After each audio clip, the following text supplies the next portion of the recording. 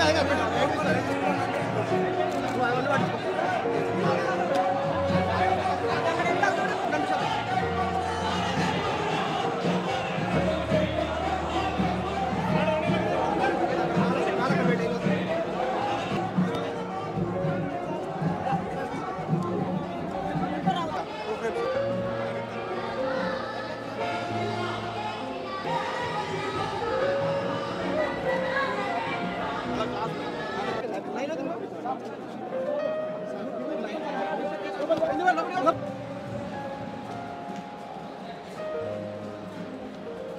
Corona సమయంలో చాలా విపత్తులు జరుగుతుంటే చాలామంది చనిపోతుంటే చాలా దుఃఖపడడు అన్న బాధ చాలా బాధపడి అరే కూడా మనిషిని మనిషి ముట్టుకునే పరిస్థితి లేకుండా పోయింది. రేపు నాకైనా నీకైనా ఇదే పరిస్థితి కదా అని చెప్తూ ఆ టైంలో ఆయన ఏదో రెండు మూడు మాటలు కూడా మాట్లాడిన సందర్భాలు ఉండే.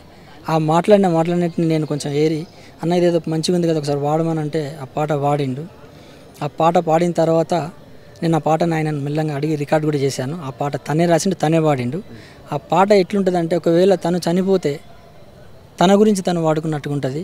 నేనేదో అంటే ఆయన నవ్వుకుంటేనే సీరియస్గా కూడా కాదు నవ్వుకుంటే నవ్వుకుంటేనే అరే ఇది నా మీద నేను రాసుకున్న పాటరా రేపు నేను చనిపోతే నాకు గొంతు తన యొక్క విషాద గీతాన్ని తానే పాడుకు రాసి పాడుకున్నటువంటి పాట. అంటే విషాద గీతం అని కాదు ఆయన సహజంగా చనిపోతే ఇట్లా ఉంటుంది పరిస్థితి అనే దాని మీద రాసిండు ఊరికే.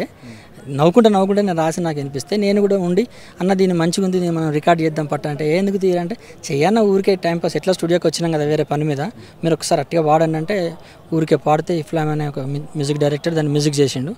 పాట అంతా అయినాక విన్నాక మాత్రం మంచిగా వచ్చిందిరా పాట. సరే దీన్ని అట్లనే ఉంచు. ఏదో ఒక రోజు నాకు ఏమైనా అయిన రోజు రవిప్రకాష్ ఉంటాడు వీళ్ళ కోసం ఈ పాట నాది ఇచ్చేయి రావాలి మొత్తం టీవీలలో పెట్టి. రవిప్రకాష్ సార్కు నా పాట వినిపించు అని చెప్పాడా? అంటే నేను నాకు ఏదైనా జరిగిన రోజు ఆ పాట పంపించమని చెప్పిండు. అంటే రవిప్రకాష్ సార్ని ఎప్పటికీ గుర్తు చేస్తాడు. ఎందుకంటే వాళ్ళకి నా అనుబంధం ఏందో నాకు మందులు కొనిచ్చేదిరా అప్పుడప్పుడు నా కష్టాలకు నష్టాలకు నా ఎంబడి ఉంటారా నేనంటే బాగా ఇష్టం రావానికి అది అని చాలా గట్టిగా అంటే ఎప్పుడు ఈ మధ్య కూడా తనను రవిప్రకాష్ సార్ని మేము కలిసినప్పుడు అన్నతో పాటే కలిసిన నేను కూడా కలిసినప్పుడు కూడా మాట్లాడుకుంటూ వచ్చేది. ఆ రోజు కూడా అన్నాడు మాట మీద మాట వచ్చినప్పుడు. సో దురదృష్టం ఏంటంటే తనే రాసిన పాట తనే పాడి తయారైన పాటను నేను అన్న సార్ కూడా పంపించడం జరిగింది. ఆ పాట తను చనిపోతే తను లేచి పాడుకున్నట్టు ఉంటుంది.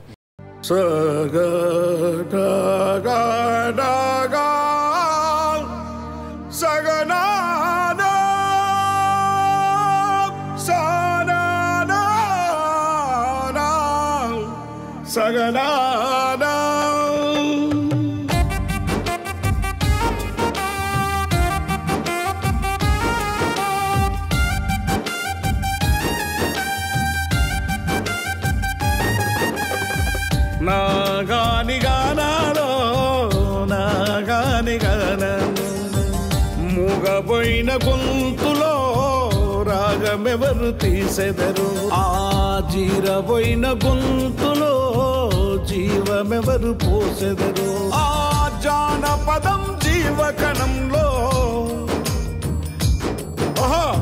జానపదం జీవకణంలో జీవాక్షరాలెవరో? మూగబోయిన గొంతులో రాగమెవరు తీసెదరు? ఆ జీరవైన గొంతులో జీవమెవరు పోసెదరు?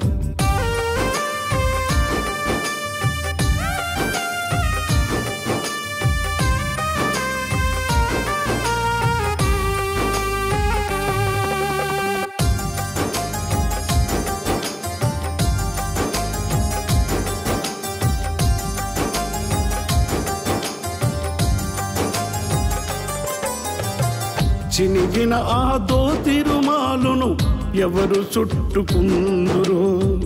అలిగిన ఆ గొంగడి బొంతను ఎవరు అలుముకుందురు? ఆ చిన్న బోయిన ఆ చిన్న బోయిన సేతి కర్రతో సాము ఎవరు చేసెదరో? మూగబోయిన గొంతులో రాగబెవరు తీసెదరో? ఆ జీరబోయిన గొంతులో జీవమెవరు పోసెదరు?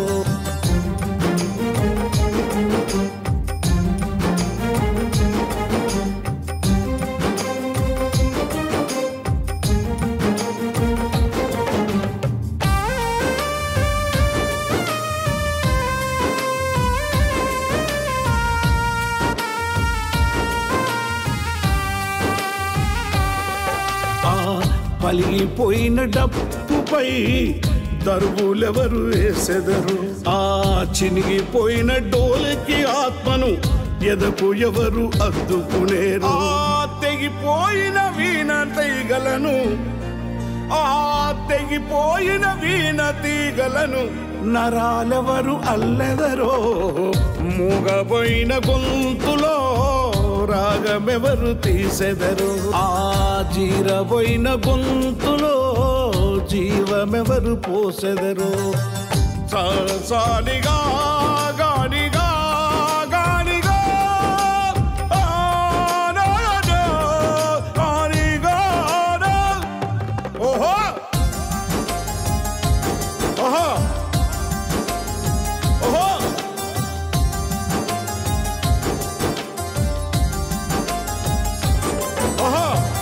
అమరుల స్వప్నాల గీతమును ఆలపించదెవ్వరు. కన్న తల్లి గర్భశోకమును ఏ శిశువు తీర్చును. ఆ చిత్తుబొత్తు పాటలను చిత్తుబొత్తు పాటలను ఎవరు ఏడ్చి పేర్చెదరో? ఎవరు ఏడ్చి పేర్చెదరో? మూగబోయిన గొంతులో రాగబెవరు తీసెదరు?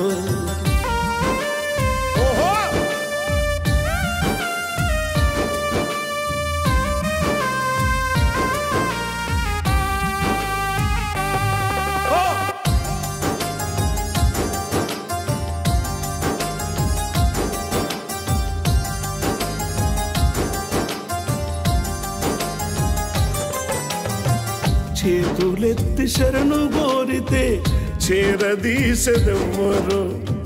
కాటికి కాలు చాపితే పాడే మోసెదెవ్వరు. ఆ తుపాకులకు ఎదురు నడిచిన తూట ఎవరు దాసెదరో?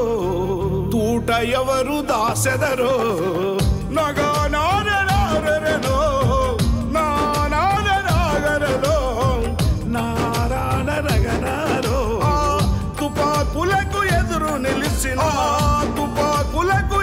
నడిచిన తూటనెవరు దాసెదరో? నా తూటనెవరు దాసెదరో? నా తూటనెవరు దాసెదరో?